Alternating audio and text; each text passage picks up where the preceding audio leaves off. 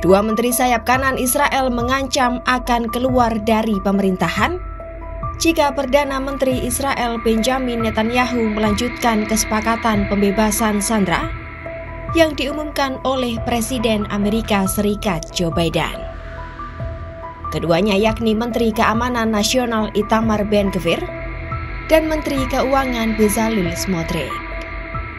Sebelumnya Biden pada Jumat 31 Mei 2024 mengatakan Israel menawarkan jalan baru untuk kesepakatan gencatan senjata penuh.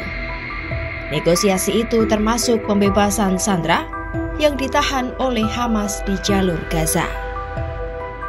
Namun pada Sabtu 1 Juni 2024, menteri-menteri sayap kanan itu menolak keras.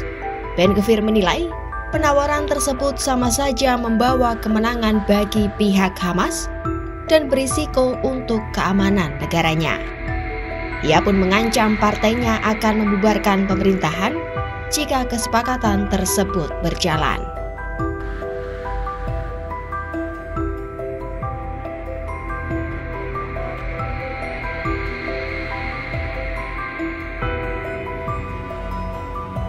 Sementara itu, Menteri Keuangan menuntut agar perang dengan Hamas tetap dilanjutkan dan semua sandera dibebaskan.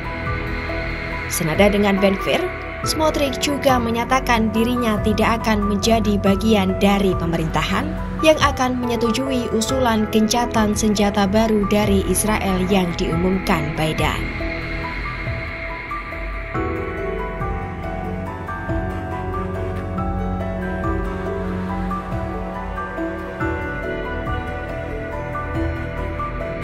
Ia bahkan menentang kembalinya warga Gaza yang mengungsi ke wilayah utara dan pembebasan besar-besaran tahanan Palestina. Di sisi lain, tanpa partai-partai Ben-Gvir dan Smotrich, koalisi Netanyahu bisa kehilangan mayoritasnya di parlemen.